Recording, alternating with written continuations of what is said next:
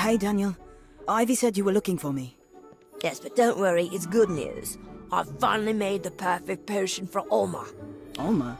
But you already came up with two brilliant potions for her. What more is there you can do? What if I told you I could turn all eyes on her? She wouldn't just be noticed, she'd be the center of attention. That sounds like a love potion. Are you sure that's a good idea? Oh no, it's not Amortentia, nothing like that. It's perfectly harmless, more like, well, more like a spotlight. When she's on the dance floor, every eye will be on her. They won't be able to look away. That's what she wanted, isn't it? Maybe. To be honest, I'm not sure if she knows what she wants.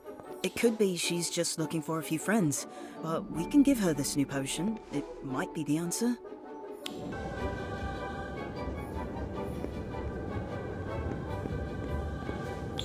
Hi, Alma. How's the dance going? Great. Not for me, of course, but everyone else seems to be having a good time. Oh, well, your hair still looks great. I know, but it's just like before. Everybody looks great and stylish and amazing. I can't compete with that. I appreciate you trying to help me, but it doesn't matter what I do, or what I change.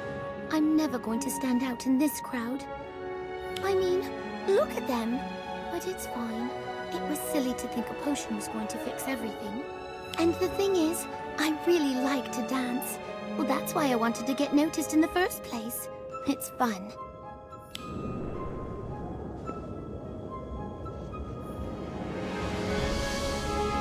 See, it's worse than I thought. I hope I made enough potion. Daniel, wait. I don't think she needs another potion. I think... I think she needs someone to ask her to dance. To dance? You're joking, right? No, I'm serious. I bet she's a great dancer. She just lacks the confidence to get out there on her own. That's why she wants to be noticed. Hmm, maybe. But who's going to ask her? I am. Alma, would you dance with me? Um, okay. But you don't have to do that. Why not? You said you really like dancing, right? Of course, if you don't think you're good enough to keep up with me. Let's do it!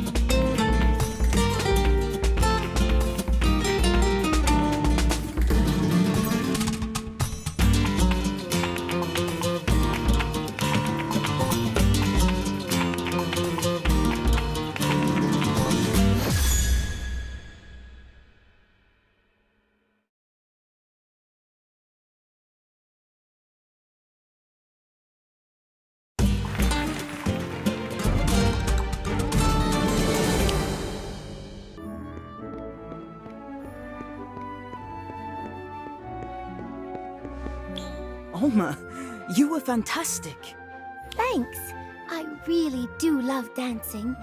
Moving to the music makes me feel like I don't have a care in the world. I could tell. And did you notice? Everyone was watching. What? They were watching us dance? No, they were watching you. I don't think you'll have a problem finding someone to dance with anymore. In fact, they're going to be lining up for the chance. Wow. And I thought people would only respond to the way I dressed. Or the cup. That was silly, wasn't it?